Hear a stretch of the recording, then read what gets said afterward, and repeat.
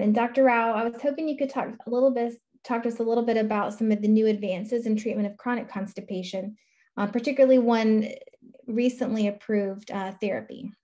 There are some real exciting uh, in, uh, developments in the chronic constipation arena. You know, again, um, if you really switch back to 10, 15 years ago, the only thing we had was over-the-counter laxatives, uh, and we would beat it to death. And the next thing came along was polyethylene glycol, Miralax, which is quite effective and still remains effective. But these are all laxatives. We then really started developing a, a new class of compounds that were really specifically effective in altering colonic muscle, nerve, transmitter function. Uh, and in that realm, also secretagogues.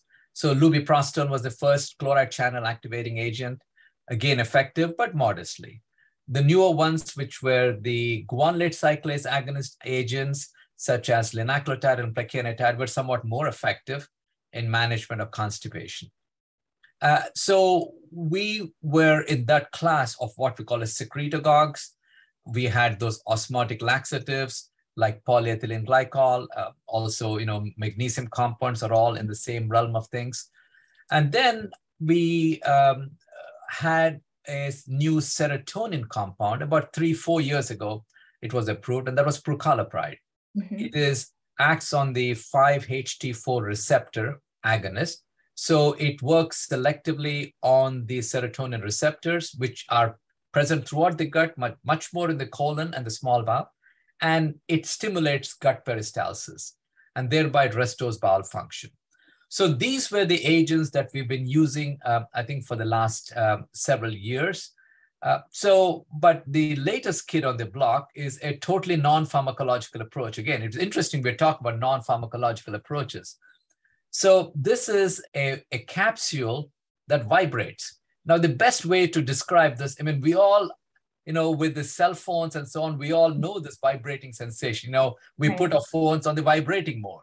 So everybody feels that little vibration when the phone vibrates. It's almost the same technology that they have now transferred that into a simple, small, miniaturized capsule, which literally vibrates. The concept behind that is by generating vibration, you locally excite the muscles wherever it is in contact with. And this local excitement of the muscle will then translate into uh, uh, strong contractions of the muscle, leading to peristalsis or movement of stool. The concept was great. They started with this product almost 10 years ago, you mm-hmm. believe it or not. And they've been really trying to develop the concept because it requires a lot of thought. You know, you can have the capsule vibrate extraordinarily fast, you can have it vibrate very, very slow. You can have the capsule vibrate for five minutes. You can have the capsule vibrate for five hours. Of course, the battery will run out very quickly after a few hours. So a lot of permutations and combinations. Also, when do you give the capsule? Um, and what time of the day? So these kind of things were in trials and tribulations that they had.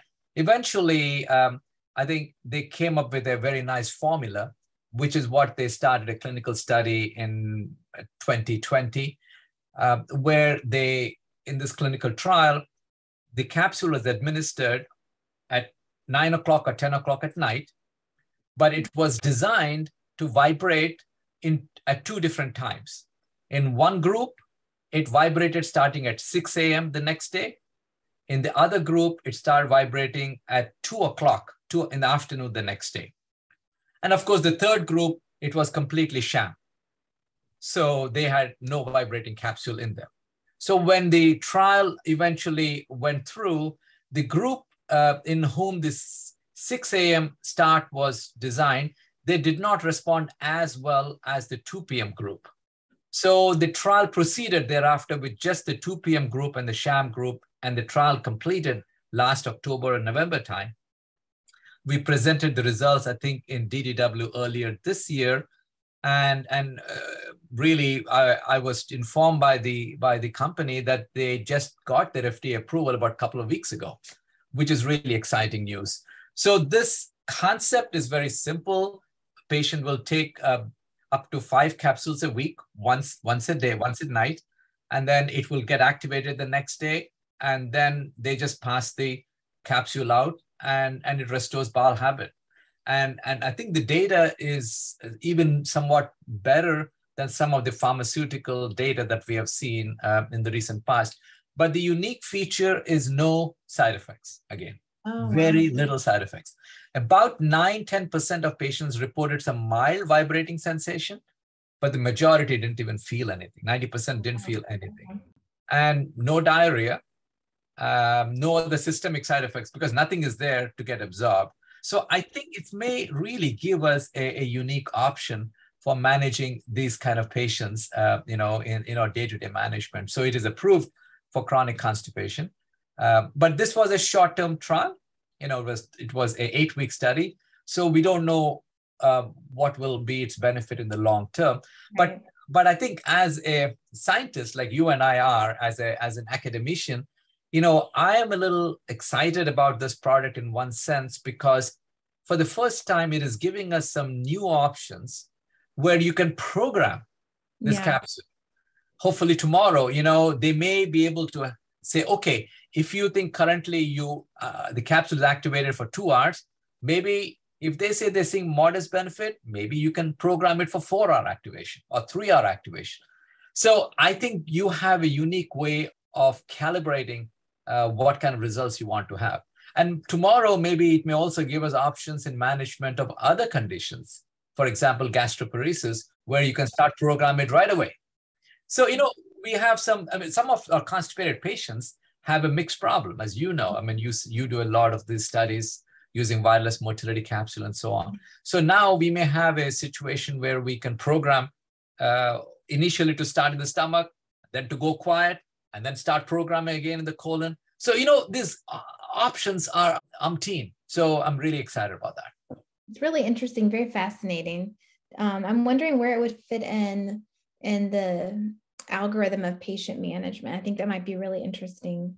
Yeah, I think we know there's no reason why we can't start them early. The only right. only thing we have to be careful though. I mean, you know, again, every every product we always always have to weigh the risks and the benefits. Right. So this wouldn't be a, a good uh, device treatment for someone who have had previous uh, significant GI surgeries. You know, people who've had anastomosis or people who've got um, obstructive disease or stenosis. I don't think it's a good idea because the capsule may get stuck. So we need to be careful in weighing our patients, but the vast majority don't have these problems. Right. So I think you know people clearly who've never had any surgery or so on, it'll be good. Uh, so I think you know as long as you weigh in those options, Right. And and I think the company also is very keen. They only want to talk, start talking only to gastroenterologists. So they're trying to do their homework, right? Okay. I'm hoping that once we get our experience, this will be quite useful.